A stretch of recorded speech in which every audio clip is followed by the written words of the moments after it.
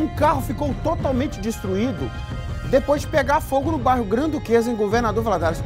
O veículo que era conduzido por uma mulher, ele seguia pela Avenida Itália, quando em certo momento parou de funcionar. Olha lá. E ela encostou o automóvel próximo ao meio-fio. A mulher percebeu uma fumaça saindo do capô e, com a ajuda de pessoas que passavam pelo local, ela saiu do carro, né? E retirou uma criança. Olha, tinha uma criança dentro do carro, estava no banco de trás, né? Olha lá.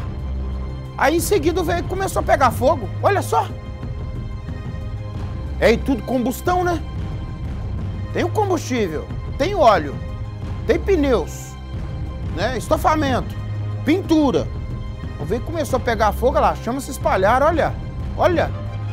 Olha só, gente, que coisa esquisita, né? A gente vê ali, né, que os bombeiros foram acionados e eles que fizeram esse combate usaram cerca de 600 litros d'água, né, para combater esse incêndio aí. A mulher contou aos militares que estava andando com o veículo para fazer um teste, pois estava com a intenção de comprá-lo. Uai, o que, que é isso, gente?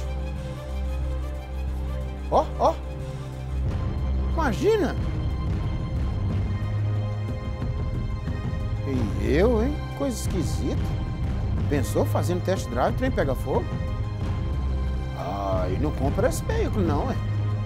É esse aí não dá para comprar mesmo, né? Esse aí já era. As causas do incêndio possivelmente é, pode ser né, devido a uma pane elétrica. É o que tudo indica, né? Graças a Deus ninguém se feriu. Já pensou, gente, fazendo o test drive do carro? Ou ver se eu compro esse carro ali. Deixa eu virar ali no quarteirão. Oh. Oh. Ah, você vira, o carro começa a pegar fogo. Meu Deus, é mais. Agora, se tiver seguro, né? Aí menos mal, né? Mas se não tiver seguro, é um prejuízo, né? Olha só. Ali caminho nosso no Granduquês ali, ó. Que susto, hein, gente? Com criança dentro de carro ainda, já pensou? As imagens são impressionantes, né? Impressionante. Ainda bem que conseguiu a mulher se salvar com a ajuda de populares e também retirou a criança, né? E aí o prejuízo material, né, gente? Comparado aí com, a, com o bem maior que é a vida, aí a gente luta, né? A gente luta, vai um ajudando aqui, o outro ajudando a colar e, e a gente vai rompendo lá na frente, né? Mas isso aí não dá pra vender mais não, lá. Olha. Pega fogo muito rápido, gente. Tem que, por isso tem que sempre dar manutenção no carro, né? Sempre a gente ouve essas orientações aí. Tem reportagem aqui direto aqui, conversando com mecânicos, com a turma da parte elétrica.